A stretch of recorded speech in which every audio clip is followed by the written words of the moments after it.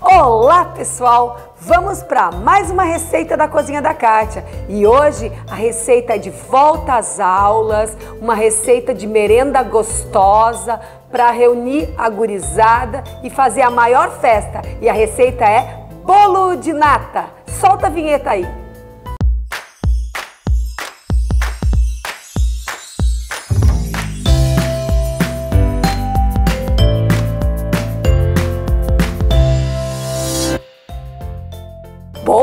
De hoje tem um monte de dica fácil da cozinha da Kátia. Uma delas é economia de louça e eu vou explicar para vocês por quê. Porque eu separei aqui uma forma de cerâmica que tem 30 por 25 e eu vou preparar o bolo dentro dessa forma. Ela vai permitir que eu leve para o forno já direto e também sirva aqui dentro. Então não tem louça para lavar depois nem antes desse bolo, tá bom? Então vou misturar tudo aqui.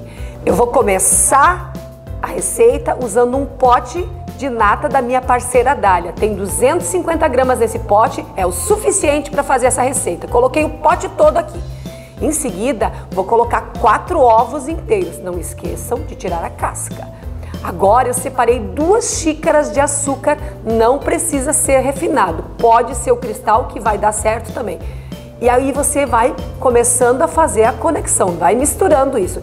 Nessa forma maior é um pouco mais difícil de misturar, mas lembra que não tem louça para lavar. Então você faz o peso e a valorização. Se você prefere fazer numa bacia, misturar e colocar na forma, fica à vontade. Eu estou fazendo do jeito que a cozinha da Kátia faz aqui, porque eu não gosto muito de lavar louça. Então, misturando tudo, em seguida eu vou raspar um saborzinho aqui, um limãozinho bem raspadinho. Agora eu vou colocar uma xícara de leite. Não precisa nem aquecer, em temperatura ambiental já tá bom. Mistura legal. Misturou tudinho em seguida, a gente vai trazer duas xícaras e meia de farinha de trigo. Não precisa peneirar, mas precisa misturando bem. Então você vai colocando uma xícara, vai misturando, coloca outra xícara, misturando e vai com o restinho da farinha. Você percebe que fica uma massa lisa, cremosa, com um brilho por causa da nata.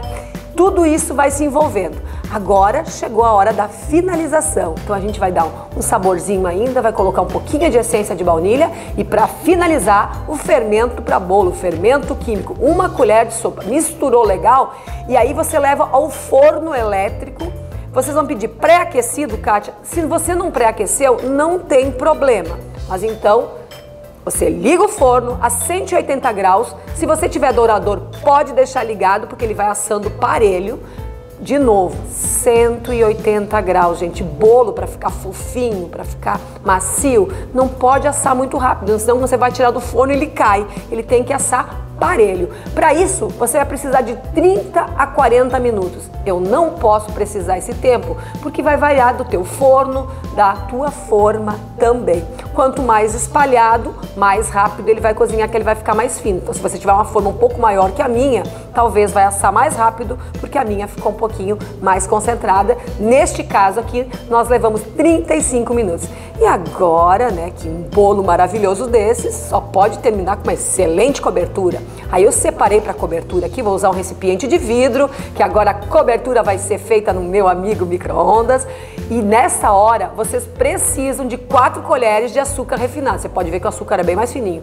Para fazer a cobertura no micro-ondas, se você fizer com o cristal, você vai ver os cristalzinhos de açúcar e eu não quero. Então, agora sim, 4 colheres da minha nata preferida e você mistura legal. Leva para o micro-ondas por quanto tempo?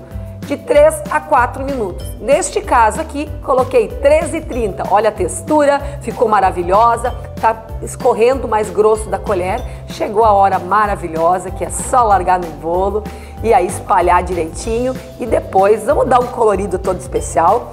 Escolhi uns confetes coloridos aqui para colocar no nosso bolo. E agora vem a melhor parte, que é só comer. Você gostou da nossa receita? Aproveita, se você gostou do canal, se inscreve e além disso, compartilhe com seus amigos. Dê um joinha aí para nós que ajuda muito o nosso canal, tá, gente? Um beijo e até a próxima receita.